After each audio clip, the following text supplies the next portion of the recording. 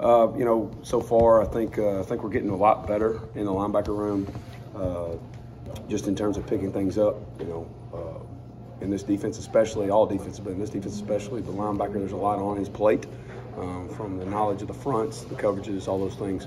So. Um, what I wanted to see is things carry over from the spring to the summer, and slowly but surely we're not making the same mistakes. That way we can make new mistakes and fix those, and uh, that's what I'm seeing. So I think we've got quality depth. Um, I think we've got a lot of guys competing, uh, which is good. Um, I don't think anybody's comfortable with their spot, uh, which is how I want it right now.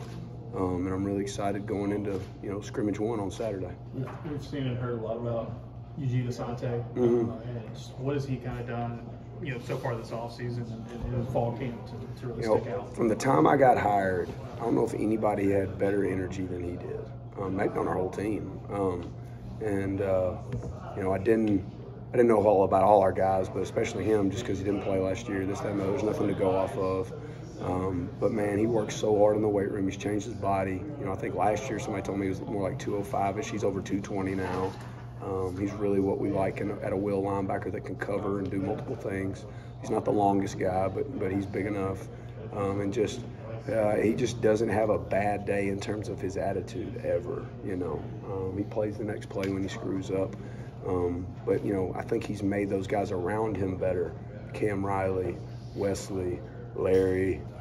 You know, I think because Eugene brings it every single day, those guys have no choice but to bring it every single day too. So it's been a been a really good domino effect with Eugene. To the extent you can talk about it, you've been a part of some of, of, some Auburn uh, recruiting wins recently. I guess what has it taken to kind of get some of that momentum? Um, Effort. Yeah. but uh, and uh, but uh, you know this place sells itself, man. I've said it before. I mean, you know, I, I just I'm very blessed to be able to recruit for Auburn. You know, um, I'm really passionate about it because I mean it's like living a dream being able to recruit for a place like this. So, um, but I mean we work really hard at it because everybody else in our league works really hard at it. So um, we're going to try to keep keep it rolling. Another guy you mentioned, Larry, of course, wasn't here for the spring, but just what have you seen out of him so far in his time on the program? I've seen, I can tell how experienced he is by how quickly he picks things up. You know, um, the biggest concern you have when you take a transfer at linebacker that isn't mid-year is how quickly can he pick up the defense. And I wasn't real comfortable in taking one after spring unless he was a guy like Larry that had all the production, played a lot. So um, it's easy to install and teach him things because he's played so much football. You know, he can translate it. You call we call it this, we used to call it that, da da da da. So um, I've been really impressed with his football knowledge. So um, he's been very consistent, um, and you can tell he's got a lot of composure. He's, you can tell he's played a lot of football. How far how far has this group come since you walked on the field day one of the spring? I mean, light years, I guess, because just because, um, you know, you, you really didn't return hardly any production, right? You know, and just so you're just ball of clay. The defense is totally different than the one it was before. Not, not to not speaking like that's that was the wrong defense, but it is just different. And um, so this them picking it up um, is in a much much better place. We're not where we need to be yet, but but in a much much better place. We heard Roberts the other day talk about how this is a linebacker-driven defense. From your perspective, just kind of what, what does that mean to you, and kind of how y'all, y'all prepare your linebackers? You know, we're the quarterback of the defense, right? You know, they've got a, you know, Coach Roberts is an inside, you know, he's coached inside backers a lot, you know, and there's a lot of checks and things on their shoulders, you know, so it's not, it's not as simple as just knowing on when we call orange table, I, I got to do this. It's when we call orange table, I got to do this, and if this happens, I got to get this guy here and A, B, and C. So, uh, so it's just, it, it's a lot on them, um, but you can really tell who's embracing that and you know they kind of like it you know they like the leadership role and being in that you know they want that responsibility so uh, it's been fun. Austin comes in with SEC experience. yes. Does that come through? When you see him out there this fall? yes. You can you can tell he's got a SEC build already. Um, and then on top of that you can tell he knows how to practice like an SEC player. And uh, you know i'm really i'm really enjoying his tenacity. He's not played perfect by any means but you can tell he understands the physicality it takes to play in this conference. And that's what i like about austin Going back to Eugene, we, we've heard guys talk about him, talk about how the the suddenness that he has. The, the, how, valuable is a guy like that in a defense where you said you, you got to have guys that are versatile enough to, to play outside and do some different things. Does he bring some of that versatility? Yes, you know, when I first got here, came in here, I got asked, you know, what are we looking for in a linebacker? And the word I used was dynamic. And, uh, um, and that's what he brings. He's dynamic, right? He's not a one trick pony. He can run, he's physical, he's smart, all those things. You know, we don't want the old school neck roll Mike linebacker in this defense anymore. You know, not that it's been lately, but that's just that's just you can't you can't win that way. So we've got to have guys who can do multiple things, just like Austin. You're talking about Austin can rush off the edge, you know, things like that, and that just allows us to have a really big toolbox when Coach Roberts is calling the defense. What are the most important things to see in the scrimmage on Saturday? I I mean, you don't get a ton of opportunities to tackle in fall camp. You know what I mean? It's just that time. It's just that day and age where you don't tackle a ton in practice. So when we're live, we've got to really take advantage of it, and you can't simulate that, right? I mean, when we go out there and we got to tackle Jarquez Hunter, I mean that's a that's about as good of a look as we're gonna get. So uh, so we got to go out there and we got to execute. But I'm really the tackling by far is what I'm looking for. Those two guys at the jack spot, how are they different? Maybe how are they kind of similar as well? Um, talking about what the difference of the jack position and the inside backer position. No, um, like so Elijah and, and Jalen. Like Oh, how I they, how got they, you. How they Yes. compare and you know how are the tools tool belts a little bit different? Yeah, you know, I think you know you're going to see those guys more on the edge than you are on inside and things like that. Um, those guys do have to be on the same page with my guys a lot, uh, um, the inside backers, because their roles, um, you know, what they're doing on any given play are go hand in hand. You know, they've got to be on the same page. You know, it's kind of like basketball, right? You know, you're playing help defense with one guy and this, that, and the other. So uh, they've got to be on the same page. Um, and then they've got to be they've got to be really smart players too. You know that's why it's a it's a it's not a D line position. It's a jack. It's something totally different where they've got to be able to do a lot of things. That's why they have one coach and not they're, they're not in that D line room all the time. So uh, that, they've got to have a lot of intel, football intelligence too.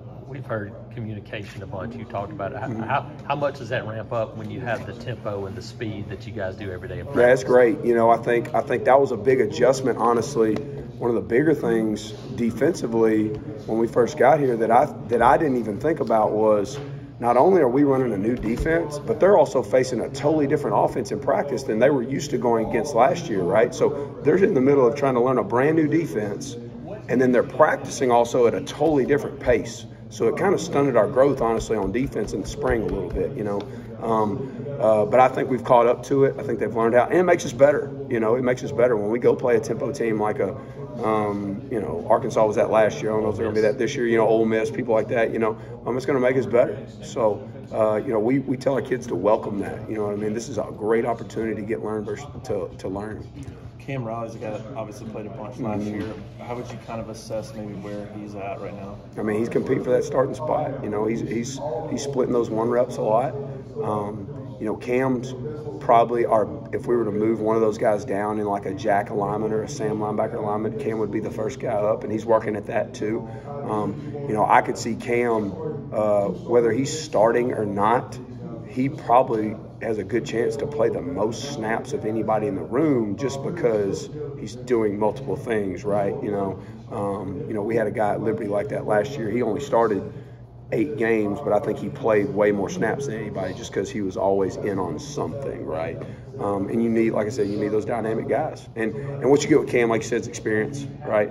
You know, it's just he's just playing in a different spot than he was previously, so he's just getting a feel for that more natural linebacker spot. Um, so This this defense and, and the way you guys want to play with the linebackers, does it allow him, a guy like that, you, you just talked about versatility, Yes. to be able to step up and, and Yes, pass- that guy because of his ru- that, that guy rushes a lot. That guy rushes a lot. He's in that position a lot, you know. So, um, and it could even be where you know you you you flip which linebackers are in personnel wise, right? Like if they're in, they got two tight ends of the game. We'd rather have Cam in or this, that, and the other, you know. So, um, but Cam is probably our best candidate when we want to put one of those guys down on the edge, for sure. Him and Austin.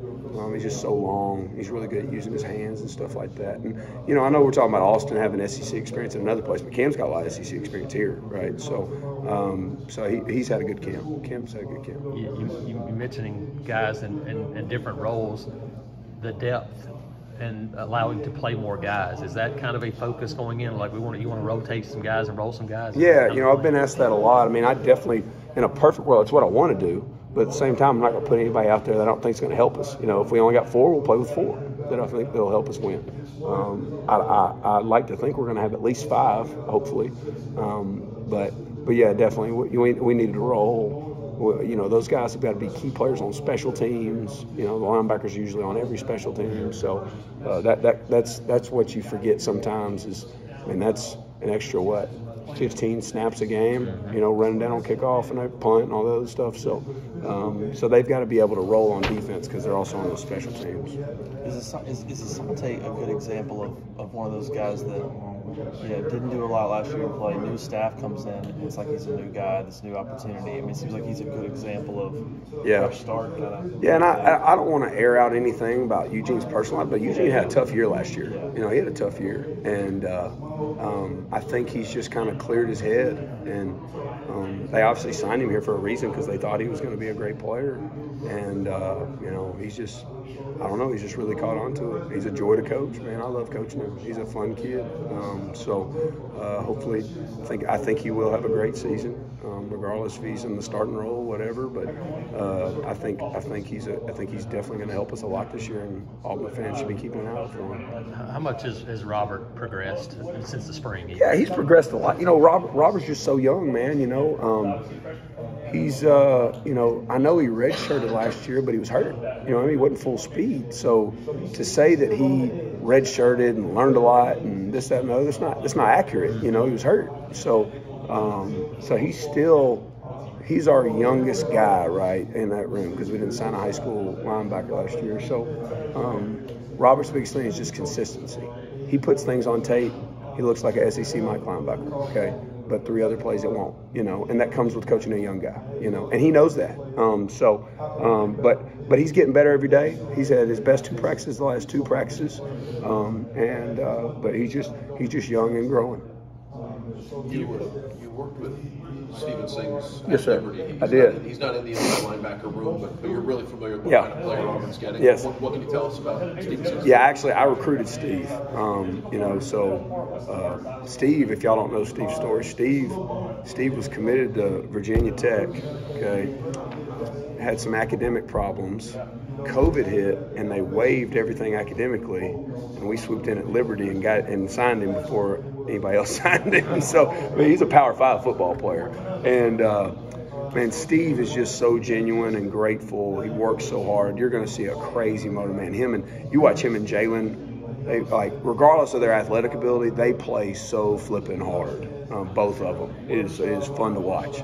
Um, so you're going to get a high motor guy and, and a guy that's going to leave it all out there every Sunday, every Saturday. How much do guys like that in, in Utah? How much do they, do they infect an entire defense when you have guys like that on the field? Well, they, you know, sometimes they make other guys look bad, you know, because they're moving at a certain speed, and here comes everybody else, right, chasing the football, right? So you have a defensive meeting, and you can hold those guys accountable. Well, hey, buddy, you weigh 20 pounds less than that guy, and there he goes. What are you doing? You know, and so uh, it's just a lot. It's a way you can hold people accountable, and uh, and you know, uh, it's it's infectious. It's infectious. It's not a coincidence that our first day of practice we go out there and Eugene's chasing the football, and we got a few guys that don't. And the next day we got three more guys chasing the football. You know, um, that this guys, this is how it looks. You know, so um, it, it's great. It's great.